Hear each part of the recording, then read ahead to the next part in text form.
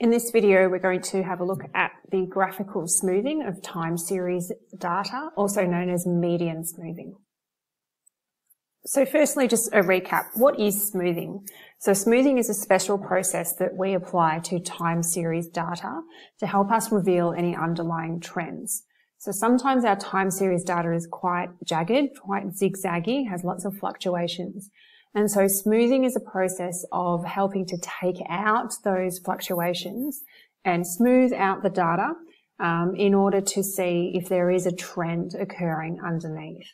And so in the example here, we've got um, the black original time series graph, and then next to that we've got our green uh, three median smooth data, and the purple finally is a five median smooth data. So with median smoothing, we are grouping a certain number of data points and finding the median of that group. And we'll go through some examples of that in the following section. We're always specified those group sizes as part of the question or as part of the information. The data um, is usually given to us just in this graphical form. We rarely get a, a table so we don't always have the original data points. So it is a graphical method in that sense. We are doing it straight onto the graph itself most times. And so median smoothing, as I said, is where we are taking groups of data points. So usually groups of three or five or even seven, always odd numbered groups. And we are finding the middle of that group. So that means we are finding the median working across the horizontal axis the EV, and we're finding the middle working up or down the vertical axis, the RV.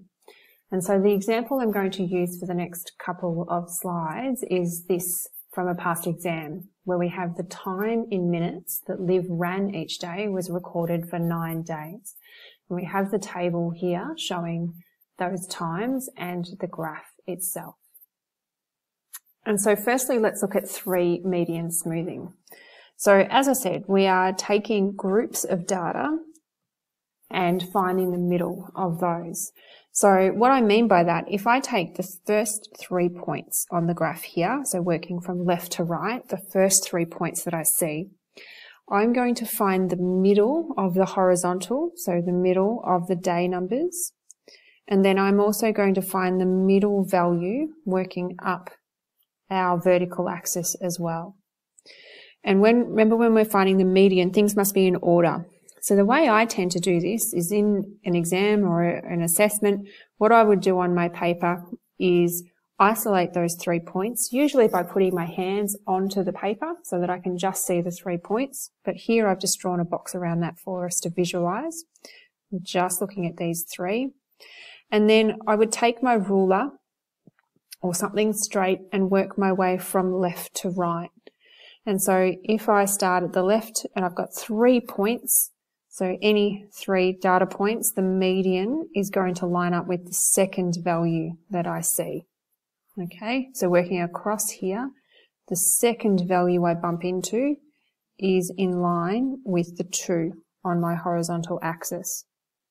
And then I'm going to do the same thing vertically. So again, three points.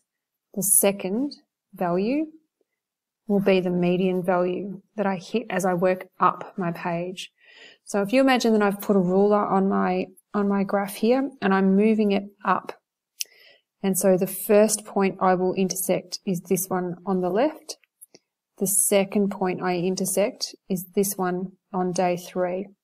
So if I draw a little dotted line across and where that vertical line intersects with the horizontal line is where my smooth value is going to go. Now you can imagine if you try to do this for every single um, median value on your graph, it'll get very busy and very messy very quickly. So this is really just to demonstrate what we're doing. And so that's why I say when I'm doing it on paper, I would put my hands on my paper or my calculator on one half and just use my hand for the other so that I can isolate that little group of data points. And so what I now want to do when I'm moving across to the next group, I'm just going to shuffle my way. So I'll just get rid of some of this extra bits. I'm going to shuffle my way across one point. So the next group of three is actually, if I take the table, day two, three, and four. And so again, working across my um, horizontal axis, the middle, the second point I hit is in line with day three. Working vertically up from the bottom up my page, the second point I hit will be in line with this one here. And that where those two meet or intersect is where I put my point. And I continue in this fashion. So I'm just going to move across one more point, take, isolate my group of three, working across the horizontal, day three, four, five. So putting my line in line with day four, working up from the bottom. I hit day five first, second one is the one in line with day three. And again, continue on. With groups of three, it can be quick for you to, to quickly identify what you're doing and follow the pattern. You may notice that as I work across each time, I am just literally moving across one of the time periods across that horizontal axis, the EV there but I do need to check the vertical coordinate each time. So again, from the bottom, I'm looking for the second point I hit. So I hit the one in line with day five first in this group, the one in line day four second. And then that is where I put my mark. And continue. So now working across again, day five, six, seven, so in line with day six. Working from the bottom up, I hit day five first, I then hit in line with day seven second, put my mark there,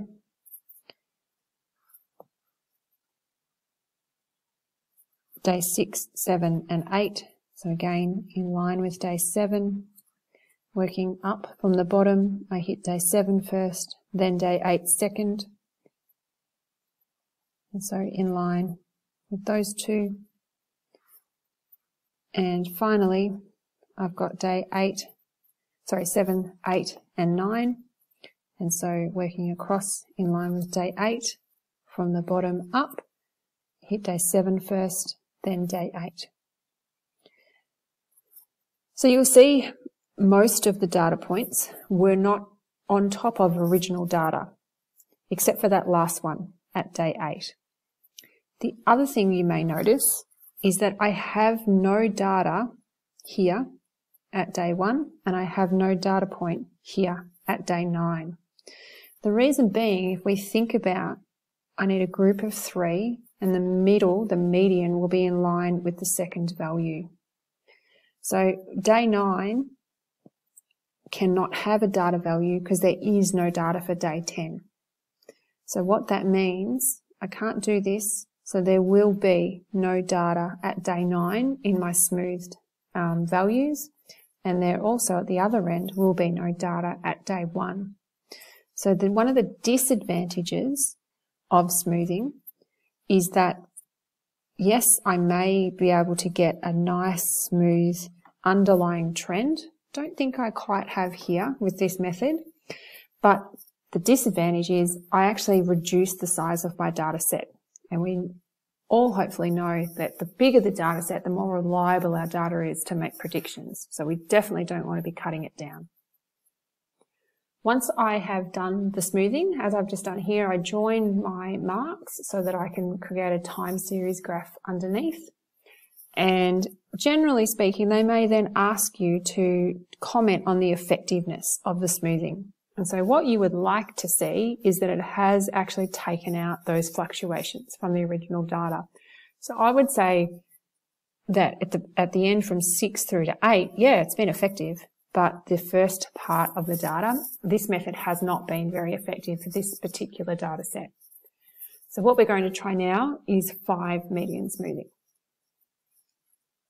Okay, so five median smoothing is maybe exactly what you think it is we are now working with groups of five data points.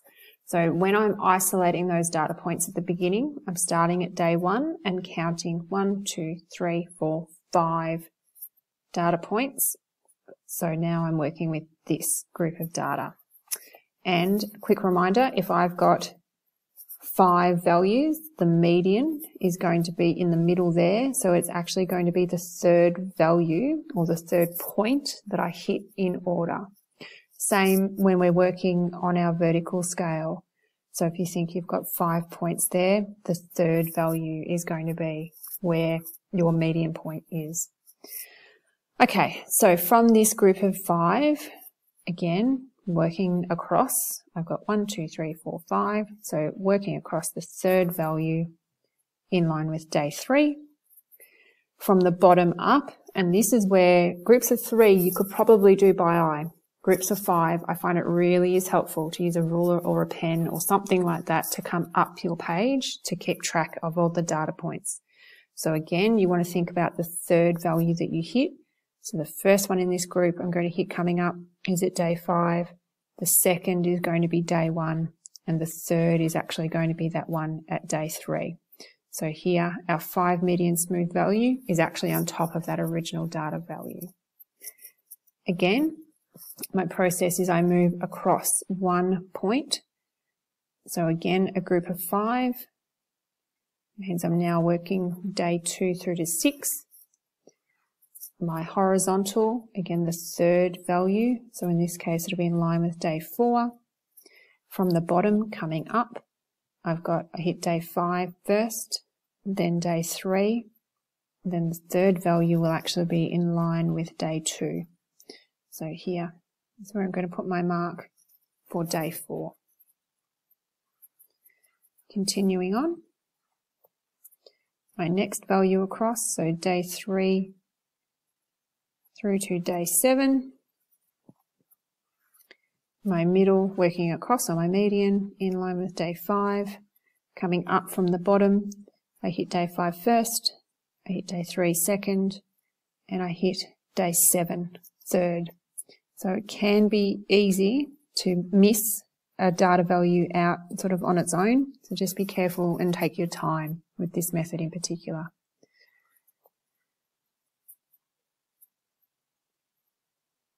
Next group. I haven't quite gone far enough. Next group of five. And one, two, three in line with day six.